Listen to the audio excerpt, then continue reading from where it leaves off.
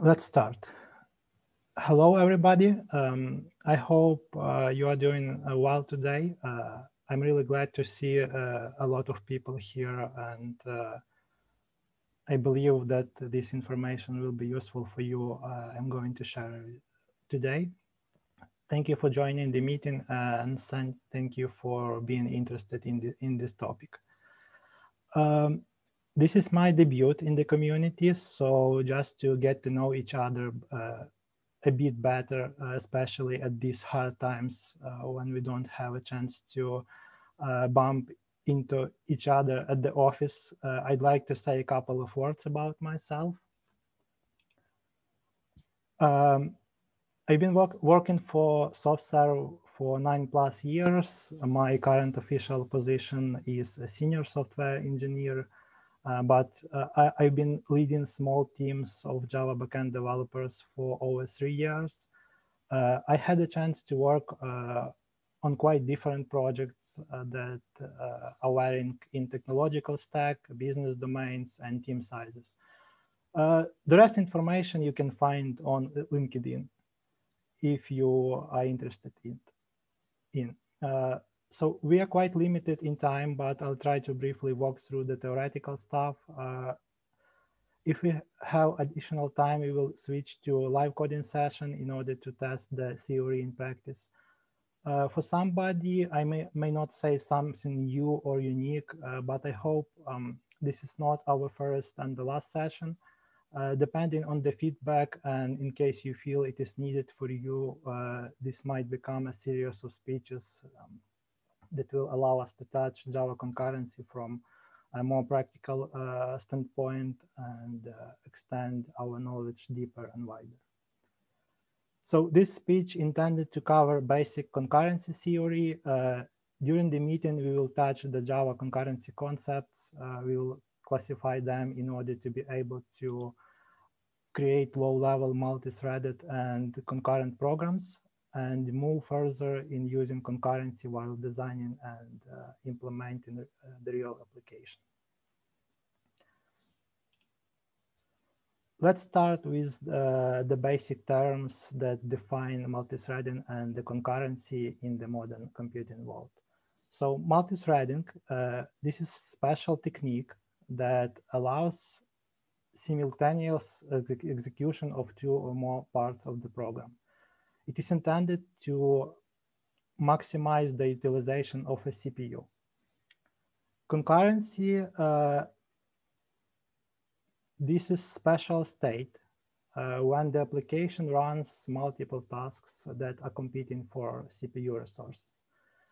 Uh, parallel execution means when a computer has more than one CPU or a CPU with multiple cores, so it can run tasks uh, simultaneously. When we talk about uh, parallelism, uh, this means that um, like this is the special way of splitting piece of work to smaller uh, independent slices uh, to process them in parallel. And the last uh, important term in concurrency theory is context switching. So uh, this is the technique um, where CPU time is shared across uh, running uh, processes. Um, and let's talk about process and uh, thread.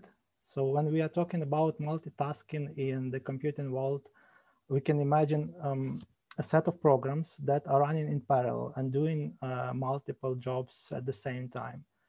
But actually, um, they are running more concurrently uh, than in parallel. Uh, even if you have multiple CPU cores, operating system can run thousands of activities uh, in a way we can't even notice they are not running in parallel. Operating system can assign slice of CPU resources to the process with so fast context switching between uh, the processes that uh, it brought concurrent multi-threaded environments so useful uh, in practice. Uh, so what is the process? Um, this is uh, an instance of running program is called actually process. So on the slide, we can see uh, our program that in general consists of uh, the specific instructions and the data that these instructions must be executed on. Uh, when we start our program, uh, the operating system makes an instance of the program and uh, this is actually a process. Uh, the process has its own uh, isolated address space in memory and it can communicate with each other. Um, in, in Linux-like operating systems, um, processes are organized in a tree and the root of that tree is systemd process. Um, that is started by, by, by the Linux core uh, during booting uh, the op operating system. Mm, each of those processes um, can uh, like have its own ID uh, and uh, it can be controlled from the outside with specific signals. So let me briefly um, switch to my terminal and show you how it looks. So let's use um, such an utility like uh, pstree. So as you can see, um, processes are organized in a tree and in the root of this tree is systemd process.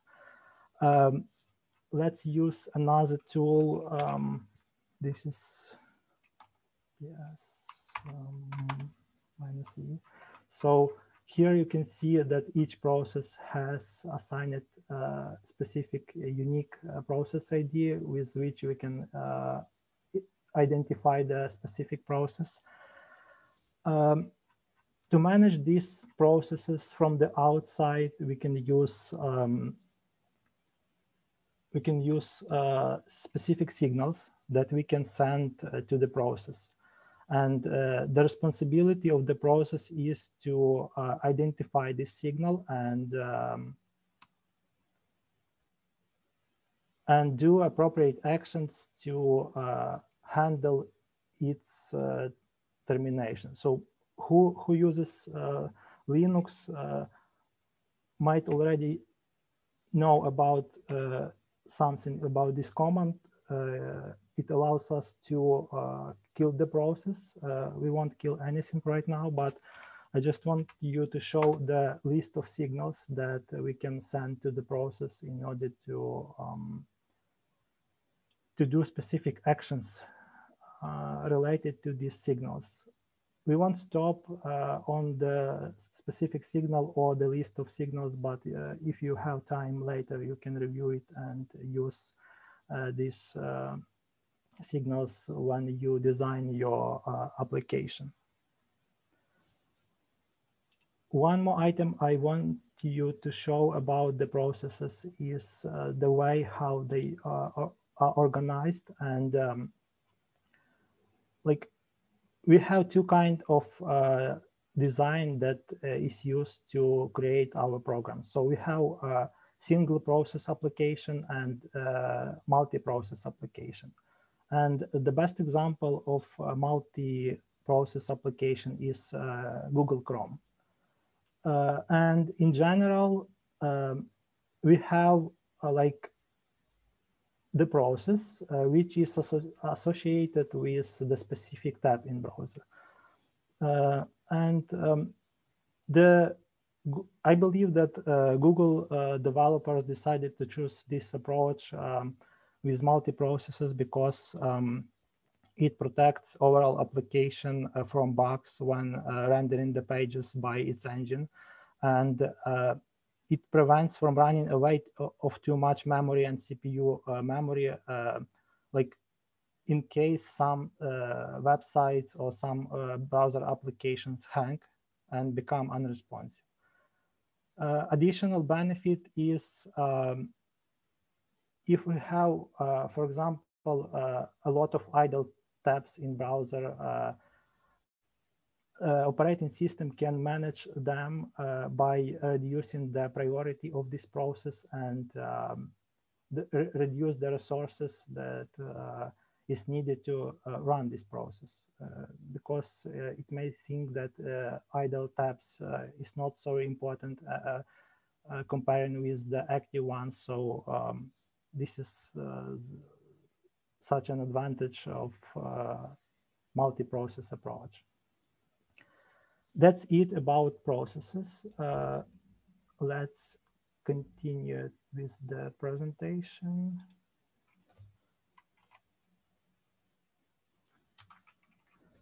And let's talk about thread. Uh, thread is an independent path of execution uh, through programs code. Threads are created within the process, so um, each process has at least one thread. Um, thread shares the process resources, and uh, when I talk about resources, I mean uh, a memory or some other resources like um, files, uh, etc.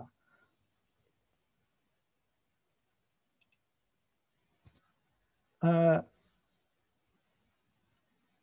let's move to the next slide. Uh, here I put uh, basic comparison of the process and the thread. I don't want to spend uh, a lot of time on this slide, but um, the communication uh, between processes worth mentioning.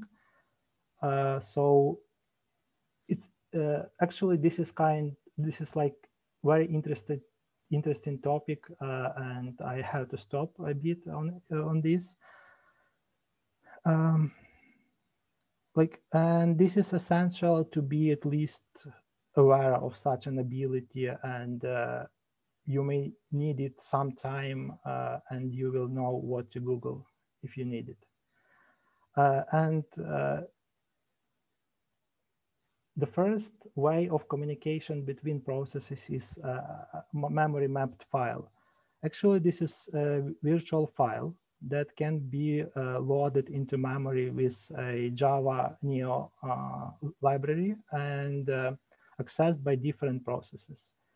Internally, um, Java creates a memory buffer to represent a portion of a file um, the data in, uh, in this buffer managed by uh, the operating system. This way uh, is much faster than using simple files on disk. So, um, and this buffer is placed outside of the Java heap, and uh, this buffer is not managed by a garbage collector. Uh, the next uh, item uh, is very popular and you uh, you probably already used it for debugging the applications. And this is uh, JMX. And uh, JMX, uh, this is a technology um, created to monitor and manage Java applications uh, via network. Um, so the most popular tool that uses JMX is Java Console. This is very good example of utilization of this technology uh, through which we can uh, connect to the application, manage its state, uh, see some uh, memory usage, uh, objects created, etc.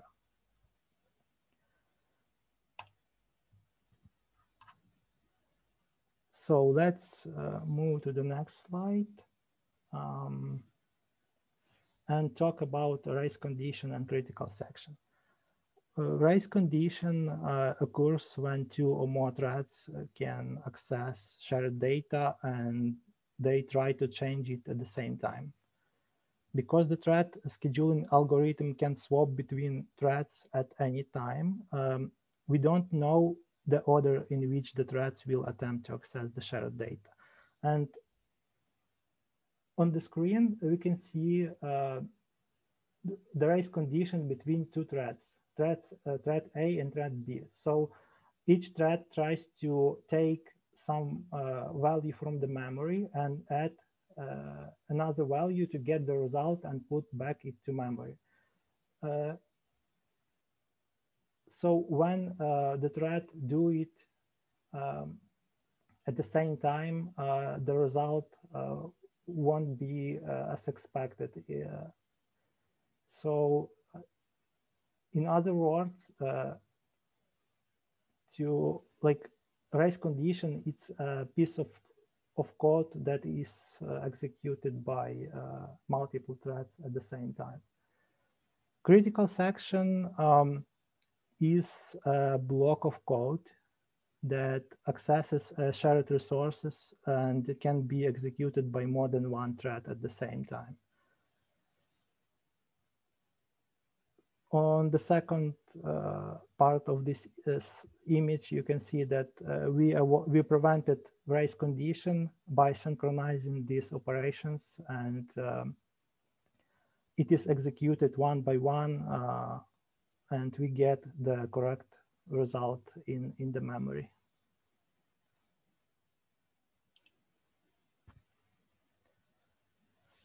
Finally, we, we move to runnable, callable, and thread. So uh, runnable, callable, this is interfaces in Java, thread is uh, class.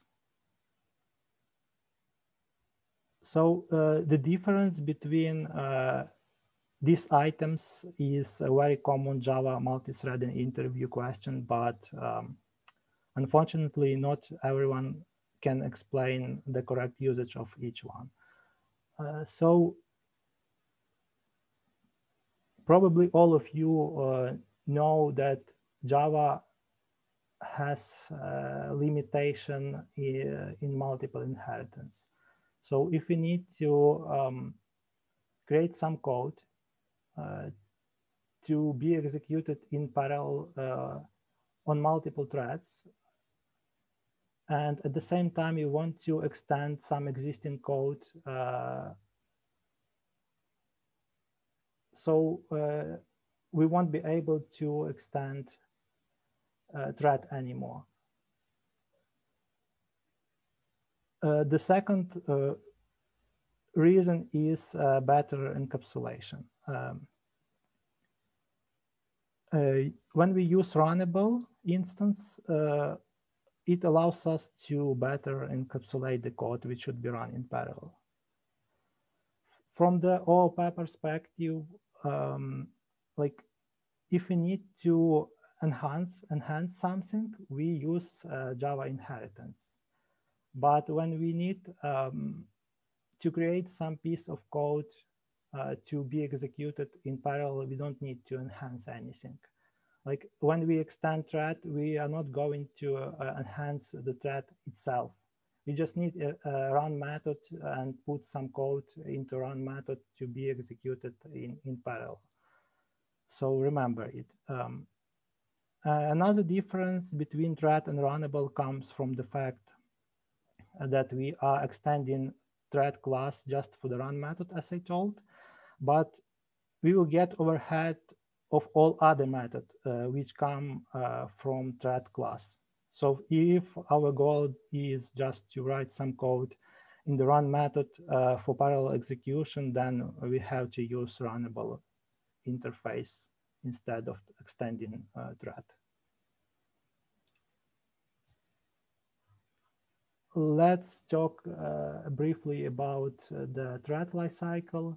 Uh, so as soon as we create a, a thread, it will be in a new state uh, when we start a thread, uh, it will change its uh, status for runnable. thread can be blocked when we uh, use uh, Java synchronization mechanism, uh, for example, if we use logs and a thread wait for the log, so it will be in block state. the waiting state means when we are waiting for a specific condition. For example, um, we may call thread join to wait uh, when uh, another thread uh, complete its execution. So uh, during that time, the thread will be waiting. Or just call uh, object uh, dot wait method to wait for some specific condition. This is also means that thread will be in waiting state.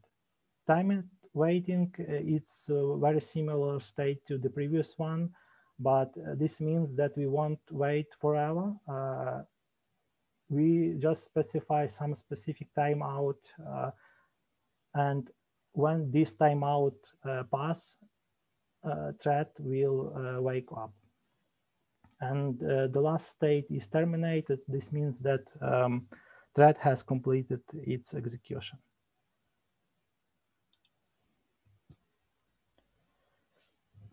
Next slide uh, tell us uh, a bit about the priority of the thread.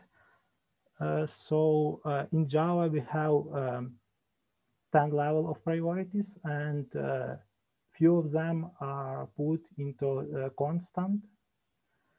Um, so I recommend not to use these uh, priorities when you design specific algorithm and uh, this algorithm is tightly dependent on the priorities because uh, these priorities are highly uh, operating system dependent. And uh, for example, in Windows, um, if I'm not mistaken, it has seven priorities and uh, Java maps its 10 priorities to that seven priorities. In Linux-like operating system, um, I believe that it ignores all the priorities altogether. So don't use these. You you can treat at uh, uh, you can treat these priorities as uh, just recommendation to Java to organize um, the uh, the threads, but don't rely on it. So let's move further uh, and let's review the concepts of synchronization in multi-threaded program. So the monitor uh, is a synchronization construction that allows exclusive access to the shared resources. Mm, this concept was defined uh, in latest 70s, I believe. So if you need uh, to get more information about it, you can find some papers uh, on Wikipedia um, to just just to be aware of the um, true definition of the monitor.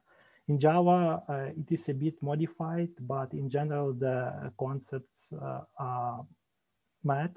So, um, so the monitor allows thread to have a mutual exclusion. Uh, it is called mutex. Uh, this the situation when only one thread can execute the piece of code at a certain point of time. um, in Java, we can uh, achieve this with logs or intrinsic log. The, uh, and the second item uh, that describes the monitor is a condition. Um, this is uh, the ability to make threads wait for a certain condition to be met. Um, essentially, uh, it, it is a container of threads that are waiting for a certain condition. So um, does anybody know uh, from the audience, audience why this concept is called monitor?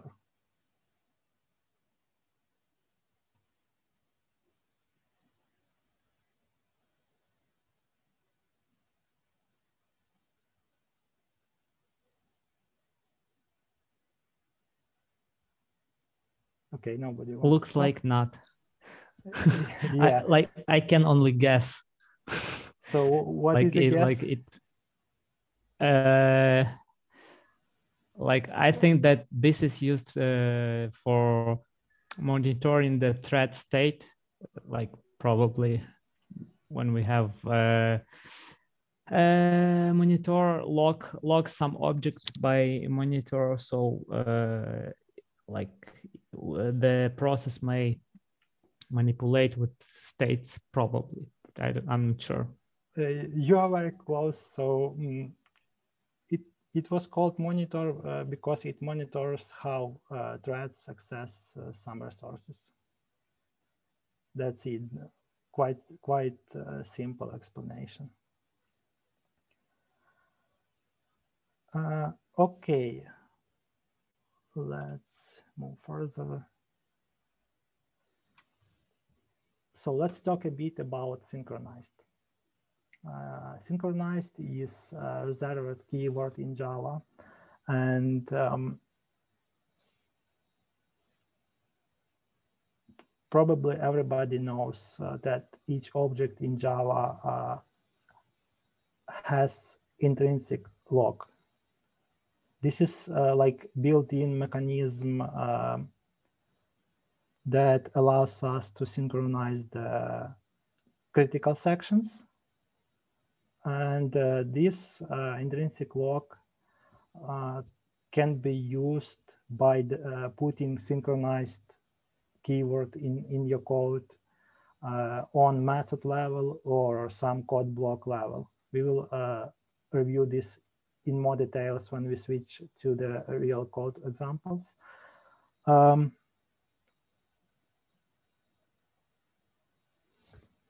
the intrinsic uh, lock has also built-in uh, condition mechanism. So um, this, uh, this condition can be uh, manipulated by calling wait notify notify all method. We also we will also review how the method work uh, in a while.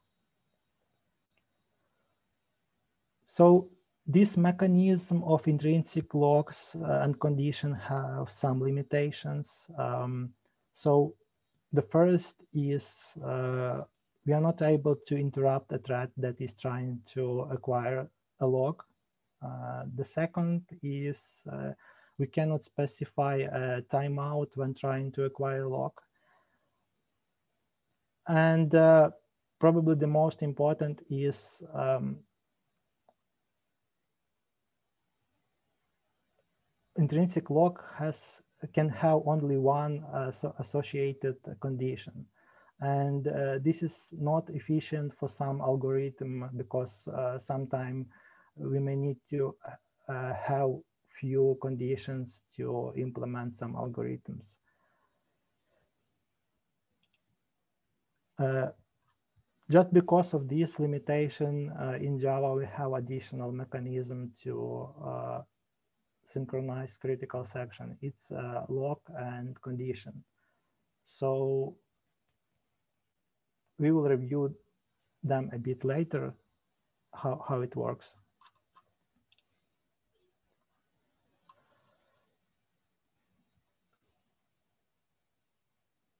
Okay, let's move to the next slide. So let's talk about a few more concepts uh, in Java related to concurrency.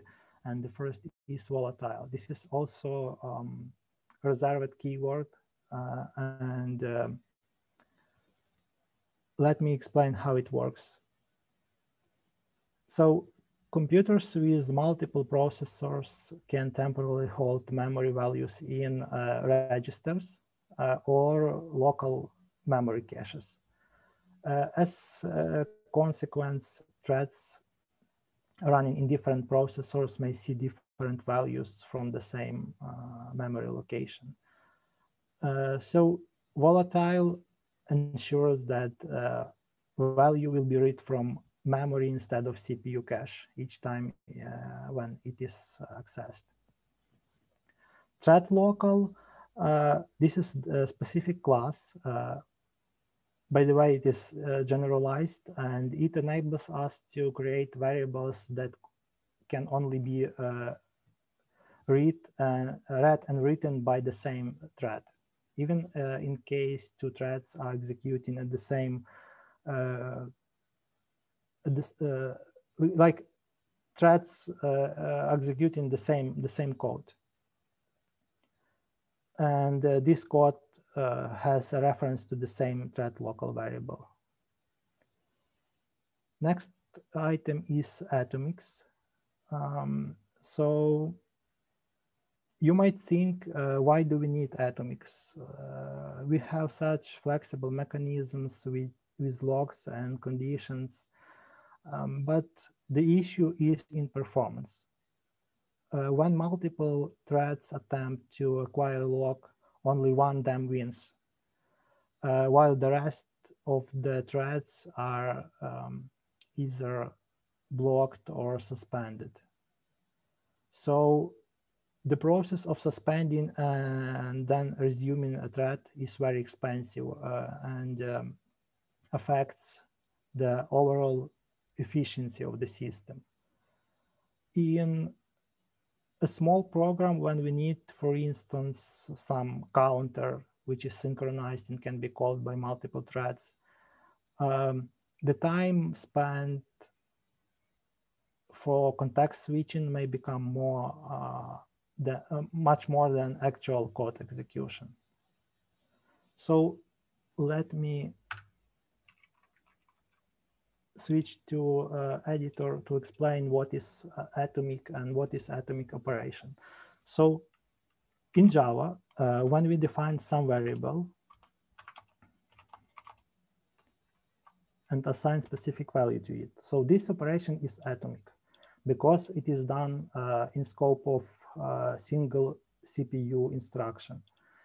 Uh, when you write this operation,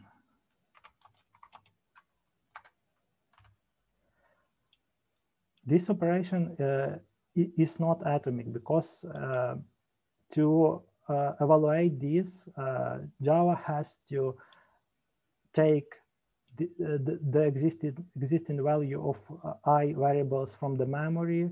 This is the first step. The second is um, adding five to the existing uh, value of i. And the third step is uh, write back these results into memory. Mm.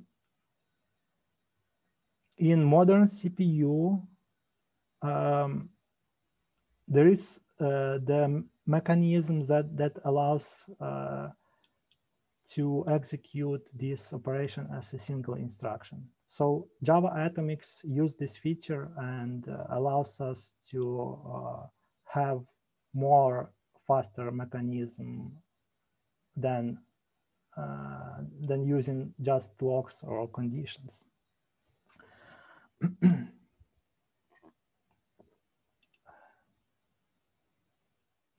let's get back to the presentation.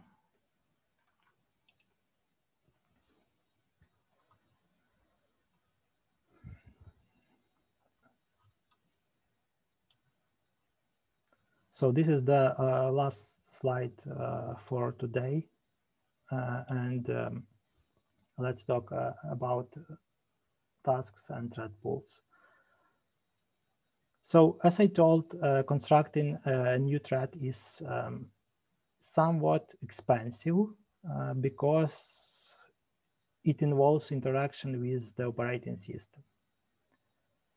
Uh, if our program uh, creates a large number of short-lived threads, uh, we don't have uh, to, to map each task to a separate thread. But uh, instead, we can just use a thread pool. And uh, this pool contains a number of threads that are ready to run and it can execute the code we provide for the execution. It, it doesn't need to create each time thread each time when we need to execute some small piece of code. Uh, the, there are a lot of different uh, kind of pools in Java, uh, but I took um, basic uh, mechanism that allows us to create the pools. So in Java, uh, the executor service, it's a basic um, interface that um, we can use to uh, create thread pool or schedule a thread pool. So uh, with thread pool, we, we can create a uh, simple number of threads. Uh, with schedule it, we, we may uh, also create a, a, thread pool, but we, we can assign some specific delay uh, or time uh, when this thread can be executed. And here you can see the list of static uh, methods of executor service that allows us to create thread pool. uh, I thought that uh, we will have live coding session, but uh, just to save your time and and my, I decided to create some some code examples beforehand. Uh, so, um, do do you see uh, the code right now? Yes. Yes. Yeah. Okay. Cool. Yep. So the basic and the most, I would say, iconic example of uh, of uh, practicing multi-threading is uh, banking. Like uh, because um, if you have uh, some accounts, uh, we may do a lot of different operations with this account by transferring the money, by withdrawing the money. So I choose this example. And here I coded very very simple application that allows us to uh, to put money uh, into account and to withdraw uh, money uh, from account. So here we can see met method transfer that do this and uh, here is the real application that creates online banking and do uh, two transactions. So the first transaction put 10 points of money into account and uh, the second uh, do uh, like the second does uh, the withdraw operation and takes 15 points of money from the account. Um, so if we live in a single threaded world, so it, it is good to have this program and we don't need any multi-threading or concurrency. But in real life, this this program will be uh, useless. So I decided to create version two of this program, and let's review uh, what changes I did to uh, make it more concurrent. Uh, the first item uh, I did, I created the thread. So our our thread takes uh, our banking application uh, takes transfer amount we are going to process and it also generate a random transaction UID just to track our transaction. And here we have simple run method uh, that takes our banking application and does transfer operation. Also, I extended a bit uh, actual uh, main method of this application. I added a, a bunch of transactions uh, to this application and also start uh, started each of these transactions in parallel. And the, the main changes was done in uh, transfer method. So I did synchronization of this operation just to get the correct result of the execution. Like this is uh, our critical section. And without this synchronized uh, keyword, uh, there will be a race condition when multiple threads will race for this uh, for this operation. So when we uh, try to execute this program without the synchronization, we will get uh, different results each time. So this uh, transaction were organized in a way that as a result of execution, we uh, we won't have any money on our account. So as a result of execution, the balance should be zero, but we have minus seven. Let's execute it again and we have different different result. So that that is because uh, the race condition happen here. Let's put synchronize and execute this program again. So we have zero balance. Let's execute it again. We also have zero balance. Uh, so we can use synchronized uh, on a method level, but, but we can also use it uh, on the code level and synchronize the specific uh, block of code. So we may use uh, this as a object of the synchronization. Uh, as I told, each Java object has uh, built-in intrinsic lock, so we can use this, uh, or we can use separate lock, separate object to for locking this this operation. So let's try to execute it again.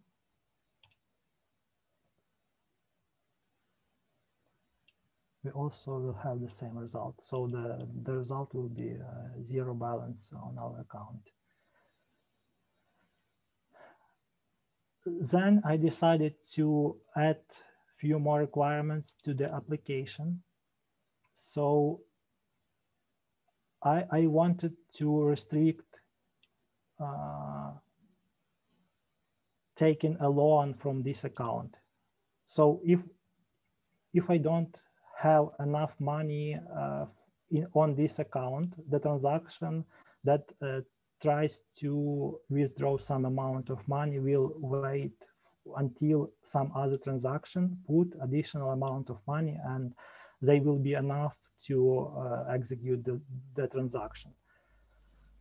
So to implement this, I used the intrinsic locking mechanism and the uh, associated associated condition to this lock.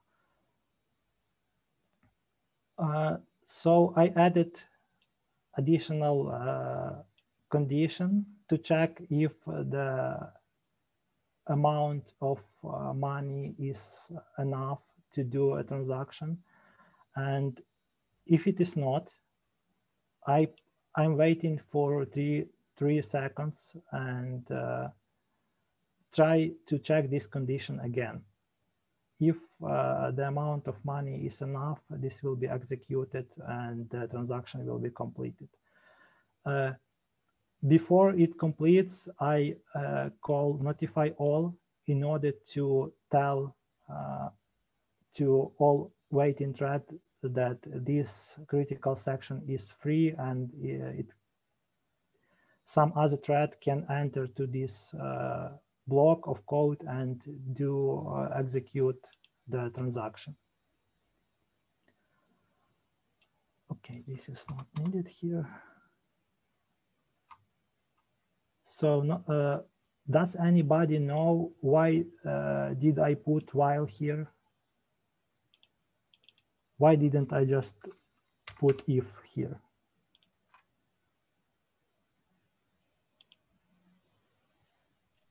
Because we might have race condition. In a week. No. Because we need to repeat this. Why do we need to repeat this? Because data can be updated in another thread and we need to repeat this operation. Uh, and uh, yeah. actually, we, we, we like uh, that that's that's true. But uh, one more important item. Why do I put while here is because um, Java documentation uh, tells that thread can woke up uh, in a random way. So even if you call uh, wait and don't call uh, notify all, uh, it Java, I don't know the, the actual reason, but uh, they tell that waiting thread can be woke up in a random manner. So if it woke up, the loop will be started again and uh, we will, all, we, if this condition is not met, we will uh, wait again. That's why here while is put. One more requirement to use wait and notify all.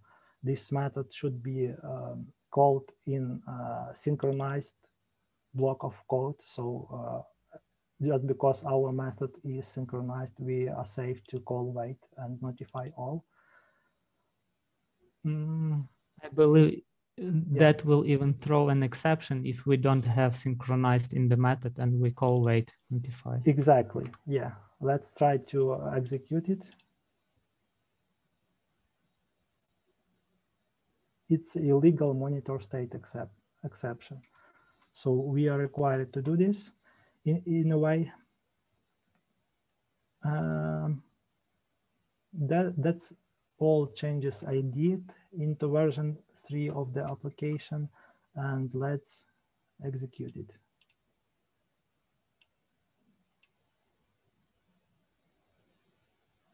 so based on log, uh, logs, uh, our program uh, tried to withdraw some amount of money, but initial amount was 10. So um, it, it, it, uh, it, it, waited a bit until some other transaction um, put additional amount of money to the account.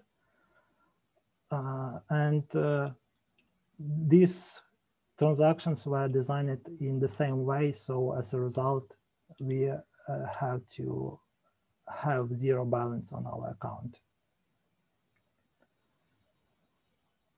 Let's move to the late, uh, last version of the application. So here I did few more changes to the banking and um, the first change I did, I uh, finally implemented runnable.